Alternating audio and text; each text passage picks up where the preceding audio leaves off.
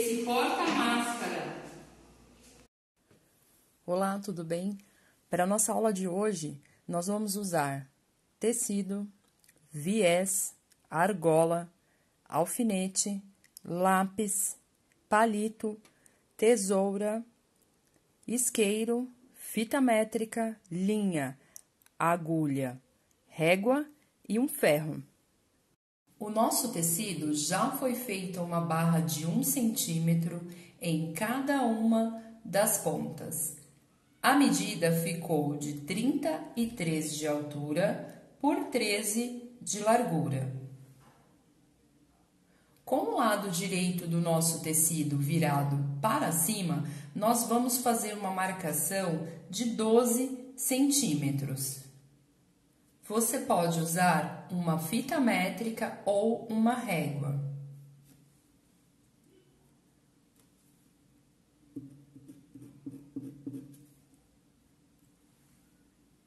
Feito a marcação, você irá dobrar a ponta do seu tecido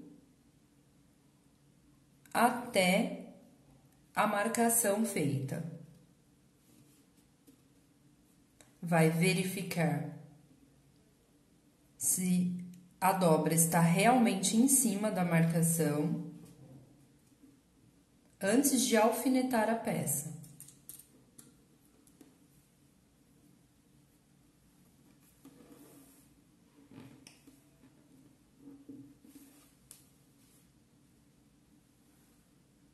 nós vamos fazer uma outra marcação desta ponta até dois centímetros e meio.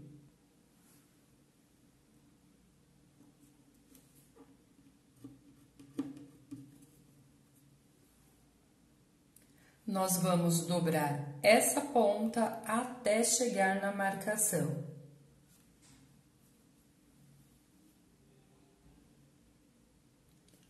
Vamos conferir e alfinetar.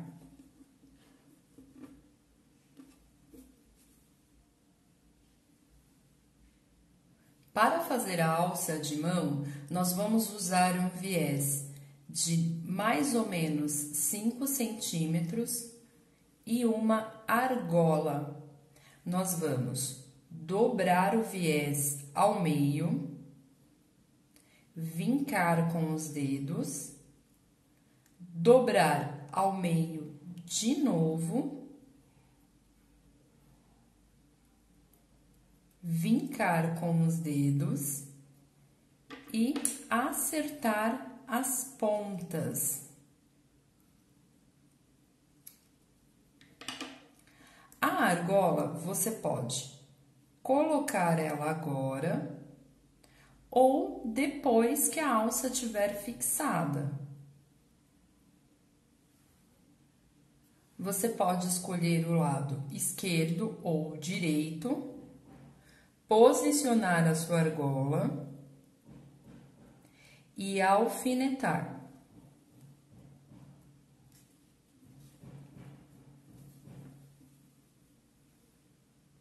Agora nós vamos fazer o ponto atrás nas laterais da peça. Agora nós vamos iniciar o ponto atrás.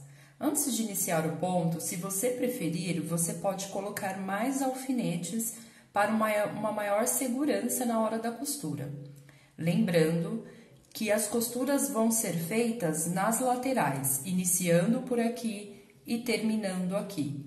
Inicia-se por aqui e termina aqui. Com a linha na agulha, nós vamos iniciar o nosso primeiro ponto. Lembrando de travar a nossa linha. Nós vamos ir um pouco à frente, só um pouquinho, porque nessa peça nós vamos fazer pontos pequenos e vamos voltar naquele pontinho inicial. Fazendo esse movimento.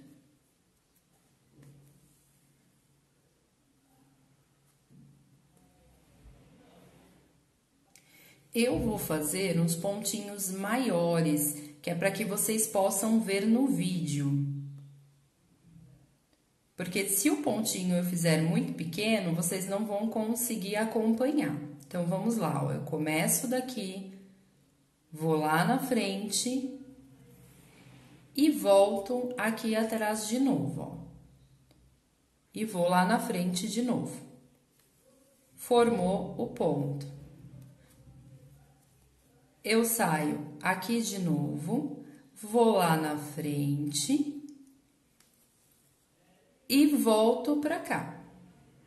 E assim eu vou fazer toda a lateral da minha peça, dos dois lados. Feito os pontinhos pequenos por toda a lateral da nossa peça, o nosso ponto vai ficar assim. Esse ponto que eu vou passar para vocês agora, após fazer o ponto atrás, é opcional.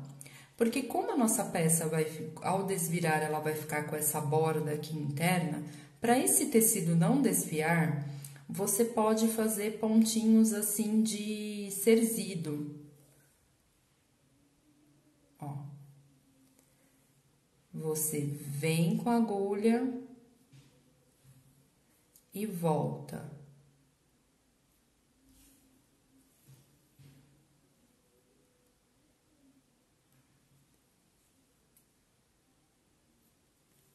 E você vai fazer por toda a lateral. Porque isso vai ajudar na hora da lavagem, o seu tecido ele não vai desfiar. Ó, bem juntinho. Mas é opcional. É uma dica que eu tô dando para vocês.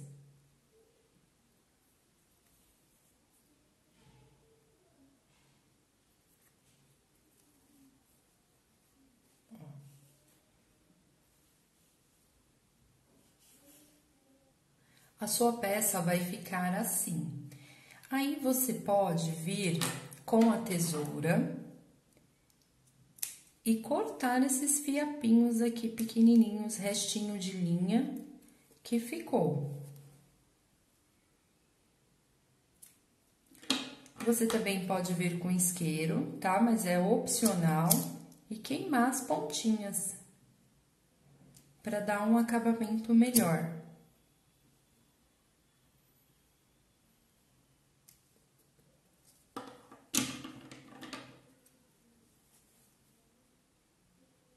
Só toma cuidado na hora que você for acertar as pontinhas, para você não cortar a linha mesmo.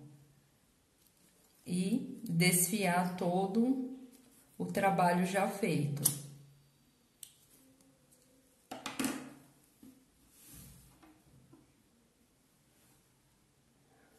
Com a ajuda do palito, nós vamos desvirar essa peça.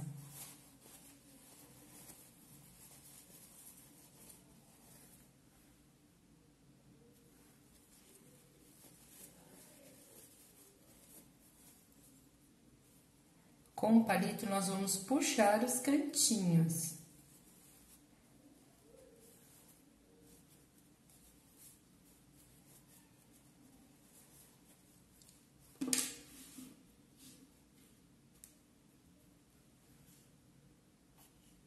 Nós vamos passar a nossa peça.